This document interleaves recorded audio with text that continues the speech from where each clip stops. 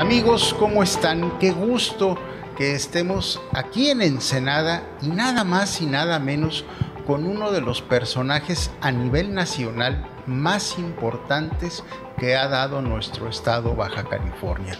Antes de iniciar cualquier pregunta, cualquier plática, permítanme saludar a Miguel Slim para que le dé la bienvenida al licenciado Ernesto Rufo Apple. Miguel, por favor. Sergio, ¿qué tal? ¿Cómo estás? Eh, señores, pues aquí estamos con un personaje que dio inicio a un cambio político en México que ha sido un ejemplo para, para todos los mexicanos y, y sería bueno considerarlo. Eh, vamos a hablar de temas muy interesantes. Eh, Ernesto Rufo, ¿quién fue en su niñez?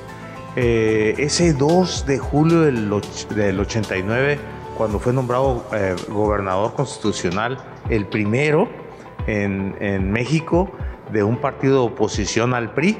Eh, perdía Margarita Ortega Villa en ese momento. Eh, vamos a hablar también de lo que es previsión en tema seguros, en el tema político. Y, vamos a hablar de qué le hace falta a la juventud para que salgan a votar, porque nos hace falta a los jóvenes.